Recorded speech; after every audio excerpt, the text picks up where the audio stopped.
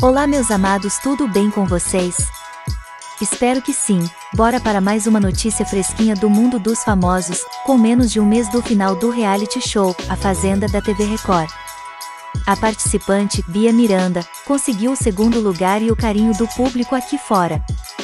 Bia, que é neta da rainha do rebolado, Gretchen, ela entrou através da votação do público e deixou sua marca no programa. Com muita personalidade e posicionamento firme, conquistou milhares de seguidores e muita fama e trabalho, aqui fora.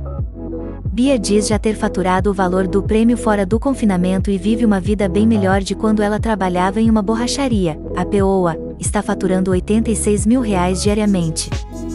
Abre aspas para a fala da Bia, foi a fazenda que me trouxe tudo isso, relatou a vice-campeã. Mas e vocês meus amados o que acharam da participação de Bia Miranda no reality show?